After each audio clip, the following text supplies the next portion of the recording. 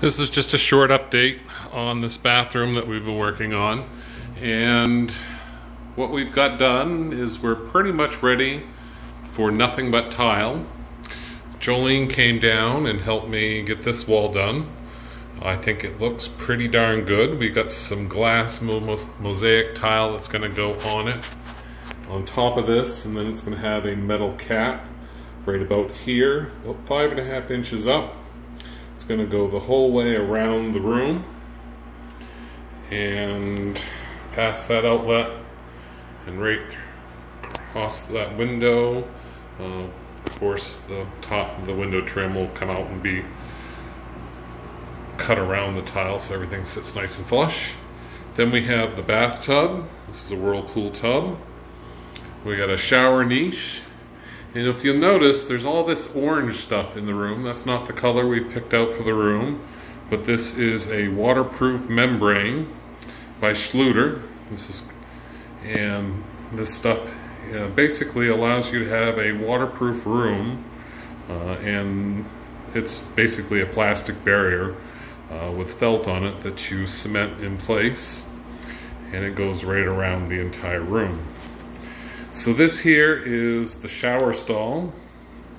And if you'll notice, the orange goes all the way to the ceiling and encompasses the entire shower. This is a little niche, a little place to put, um, I don't know, different shower stuff in. They have a shelf in it and we also have one over on this wall. The waterproofing membrane goes all the way to the floor. And I put a couple layers of the Kerdi membrane on the floor um, to try to increase the slope a little bit. I laid a almost one inch of a concrete base and sloped it towards the drain because even though we did level the floor, there wasn't enough slope in the preformed pan that came from Kerdi. Um, I mean, that came with the Kerdi system by Schluter uh, to really make the water drain in the manner that I wanted it to drain.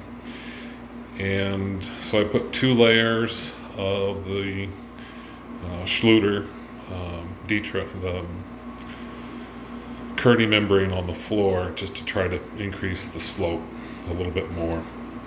And then we got a big six inch curb that's right there. And then this other orange stuff that's on the floor is another Schluter product. This is a Ditra. And this is an uncoupling membrane. And this is on top of the concrete board that you can see that goes throughout this closet that's in here.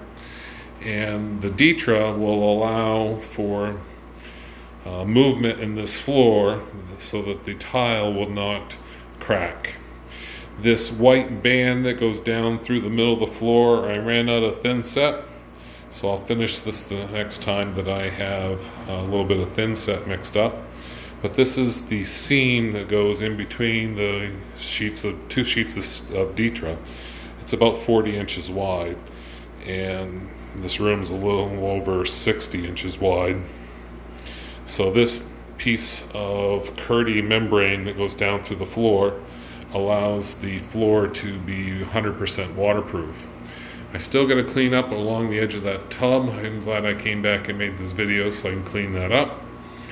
And it also wraps up around the shower curb. You can kind of see it, it's embedded in there on the, on the curb. And that will keep this room basically 100% waterproof. Once the tile's installed, we'll put a bead of caulking um, probably a silicone product of some sort between the tub and the tile floor and come right around. We'll step back a little bit this way so you can see the tile that's on the wall. I got the last road put down after I put the tile in on the floor so that that will be right up flush against that and I won't have to worry about any gaps between the wall and the floor because that row of tile will cover any mistakes that I make in cutting or measuring. Um, and then the, the wall tile will be a lot easier to cut and fit down over top of the floor and you won't be able to see those uh, if I do make a mistake in cutting the wall tile. So this is the bathroom. Got some garbage in the tub I should pick out. And just a drill box and a, a Kerdi band box and a, a jar that I was using for bringing water in here. Shower drain is glued in place and waterproofed. And then we have the bench, and the bench has been 100% waterproofed with the Kerdi membrane in the corners and overlaps and preformed corners. And everything is basically ready to go. Um, so I'm hoping tomorrow we can finish tiling this wall here. And then I'll put the glass mosaic along the top of that around this room. And that glass mosaic will run right straight through this, right behind that paint can, right to the edge of that niche, pick up there, and go right around the room, just under the shower valves, which if you look real close, right above my fingers, where one of the shower valves is going, then the other one, you can kind of see it there, it's a square that's a little different color. And then there'll be another one right in here, and those will be right on top of that band that's gonna go around the room. So that glass mosaic will go the whole way around the room. It'll be filled in on the back of these niches. And this niche here will also get that color glass mosaic.